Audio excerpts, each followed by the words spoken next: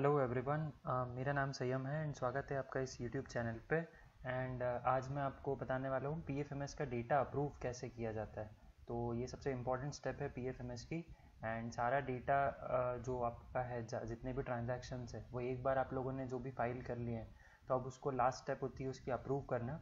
Approve करने के बाद ही आपको जो अपना बैलेंस है जो मेन अकाउंट बैलेंस है आपका वो डिडक्टेड अमाउंट जो है वो आपको पी में दिखेगा। सो कैसे करना है जो भी आपका ट्रांजैक्शन है उसको अप्रूव चलिए जानते हैं। उसके सबसे पहले आपको जाना है सेम पीएफएमएस की वेबसाइट पे। पीएफएमएस के बारे में मैंने पूरी सीरीज़ बना रखी है वीडियोस की। सो आई होप आपने वो पूरी सीरीज़ देख रखी है। लॉगिन करते हैं डेटा अप्रूवर के अकाउंट से। तो जैसे कि डेटा ऑपरेटर और डेटा अप्रूवर दो लोग होते हैं तो डेटा अप्रूवर के अकाउंट से लॉगिन करते हैं। तो यहाँ पर मेरे पास एक डेटा अप्रूवर का अकाउंट आईडी एंड पासवर्ड है। सो डेटा अप्रूवर से लॉगिन कर लिया मैंने। एंड यहाँ पर आपको सी एम एक्सपेंडिचर्स में आना है। नाउ डेटा ऑपरेटर में जहाँ आपको ऐड न्यू दिखता था, वहीं पर डेटा अप्रूवर में आपको ऐड न्यू का ऑप्शन नहीं दिखेगा, क्योंकि अप्रूवर का काम है सिर्फ़ अप्रूव करना।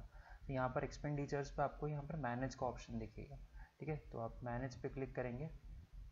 फिर यहाँ पर कुछ बेसिक डिटेल्स है, जैसे कि बैंक अकाउंट तो बैंक अकाउंट आपको सेलेक्ट करना है। एंड uh, यहाँ पर स्टेटस में या तो आप ऑल देख लीजिए या तो जो सबमिटेड आपके डेटा ऑपरेटर के अकाउंट से जो आपने सबमिटेड ट्रांजेक्शन है सिर्फ़ वही आपको देखना है तो यहाँ पर उसको सर्च कर लीजिए। सो so, मेरे पास एक ये है इसे मैं अप्रूव कर देता हूँ। तो इसे अप्रूव कैसे करना है? आपको यहाँ ब्लू कलर के जो लिंक होती है वहाँ पर क्लिक करना है। सो so, पूरी डिटेल्स वाला एक फॉर्म खुल जाएगा। एंड यहाँ पर आपके पास ऑप्शन होता है अप्रूव और रिजेक्ट तो यहीं से आप रिजेक्ट भी कर सकते हैं यहीं से अप्रूव भी कर सकते हैं। रिमार्क्स डाल दीजिए अगर ये एंट्री करेक्ट है तो करेक्ट का रिमार्क डाल दीजिए। और अगर गलत है तो उसका रीज़न लिखिए कि क्यों गलत है तो वो डेटा ऑपरेटर को पता पड़ेगा। एंड यहीं से आप अप्रूव और रिजेक्ट दोनों कर सकते हैं। सो so, मैं इस केस में अप्रूव करूँगा। अप्रूव हो जाने के बाद ये एक छोटा सा एक फॉर्म खुलेगा and successfully save for approve तो ये अप्रूव्ड हो चुकी है। एंड आपको आपका जो बैलेंस है वो डेटा ऑपरेटर के अकाउंट से आप चेक कर सकते हैं वो डिडक्ट हो चुका होगा। तो इस तरीके से किसी भी ट्रांजैक्शन को जो है वो अप्रूव किया जाता है।